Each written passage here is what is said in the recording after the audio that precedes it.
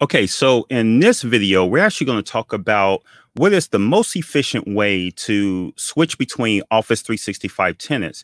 And this is a huge thing for consultants and QA reps or anyone that's dealing with Office 365. And you either have to switch between tenants because as a consultant, you may be dealing with different clients. Uh, maybe as a QA rep, you have to log in with different personas for testing and role verification, wherever the case may be.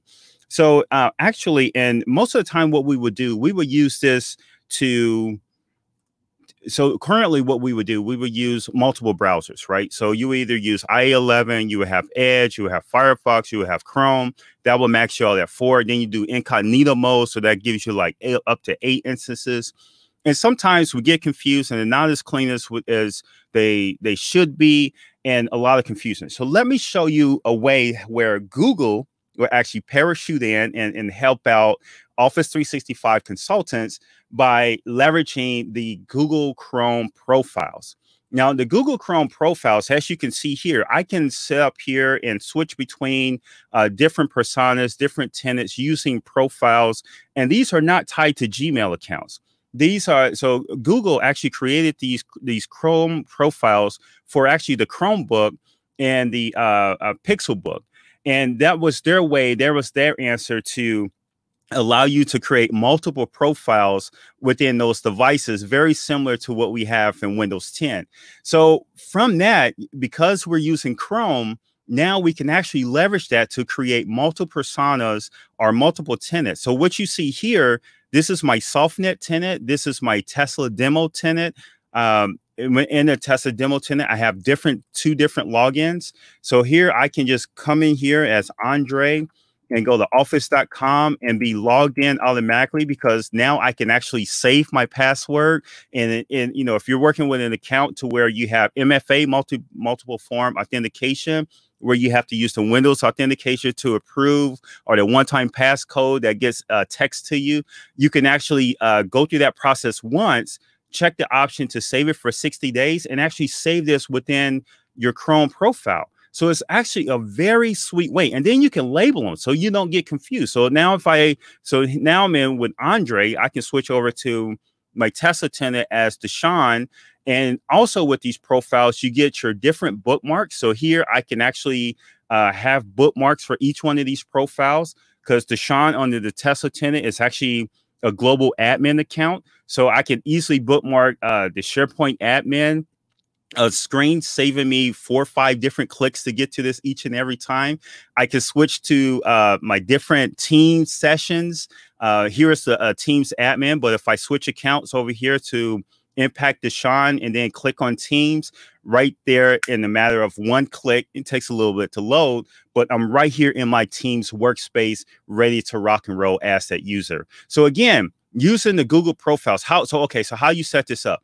Very simple. And you and you actually probably bypass it logging in. So you fire up Chrome, you go over here and you click on this little icon. Most of the time, this is going to be grayed out. Uh, let me see if I can exit this. So if I go down here and click, uh, me see if I click on the profile and then click, oh, how do I exit out? Oh, if I hit exit at the end, what this is going to do, this is going to cl close all of my Chrome sessions. And then if I click on it, this icon right here is, is your profile icon. If you're logged in with your Gmail account, it usually has a, a picture of your Gmail. Uh, most of the time, it may be gray if it's a fresh install of Chrome. You just click on that. And then right here at the bottom, you click on add, right? So here I can just go in here and let me just set up and say impact let me grab another persona. Uh oh. So this is going to be my impact Christian persona on the impact tenant. And then you can select an icon, whatever case may be, and then you click add. And just like that, you have a fresh profile, and that's going to automatically be in this drop down in this list so you can navigate between it. So once I'm there, I can then just go and proceed to office.com. And as you can see, I'm logged into like six or seven different personas now across three or four different tenants. And I get the fresh login screen. It's not picking up my cookie from a previous session or anything like that. I just come in here, uh, use my login. In this case, it'd be Christian at office365.how. And then I log in with the password. I think the biggest problem with any of this is remembering the password. right? So I just go ahead and log in with the password as I do. And now here's the benefit. I can save this. So now it's saved with that profile. It's saved in the cookie, which is going to come with that profile. And then if there's a verification process, I can go through this pretty easily. Uh, pretty easily. I don't know why it's asking me for this again, but let me set this up. All right.